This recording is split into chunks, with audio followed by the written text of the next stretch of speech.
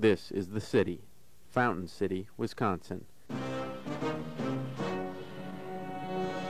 A place where the bureaucratic red tape is a little easier to cut through.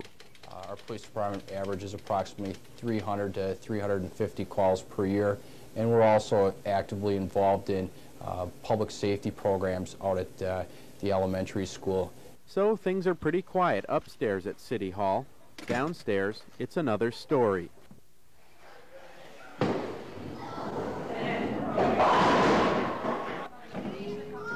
It's league night. That's Lucky Lady and Letner's Corner Store. Uh, I believe they have bowling four or five nights a week for league bowling. Not weird enough for you yet? Well, take a closer look at these lanes.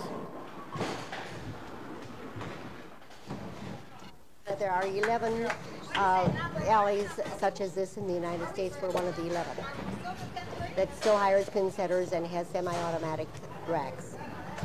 11 in, 11 in the United States. So instead of 50 lanes and computerized pin setters, you've got two haggard lanes and charming teenagers resetting your pins. Could you roll the ball back here a little harder?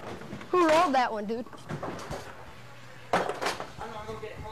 You go, girl. And the relationship between the bowlers and the bowled at is something to behold. I was hoping that the ladies wouldn't yell at me or anything, but they did, of course. Did they? Yeah. About what? Oh, well, like if you don't set the pins in the right place or if you pull it down too soon. This lady especially.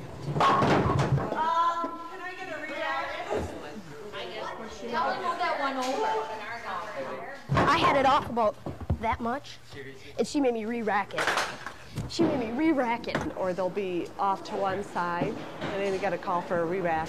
And then they're slow sometimes too, so you have to remind them, you know, to put the pins down.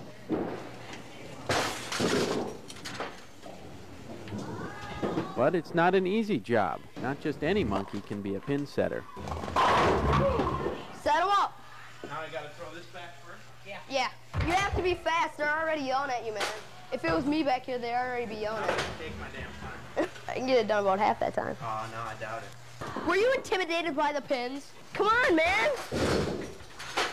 I'm a perfectionist. Gotta be perfect. You notice how well those pins are set there? They're always that good for me, man. Wow. I'm saying you're not fast enough. So if the strikes aren't falling too freely, there's always someone to blame. Have you noticed some of their racks? They're not right even. Then it's not the bowlers. Just take the blame, man. With all these complications, wouldn't it be easier to just knock out a wall or two and modernize the place? Never, never. Up here, it's just fun. And if you ask them why they came here in the first place, It was a sign. It was a sign from God.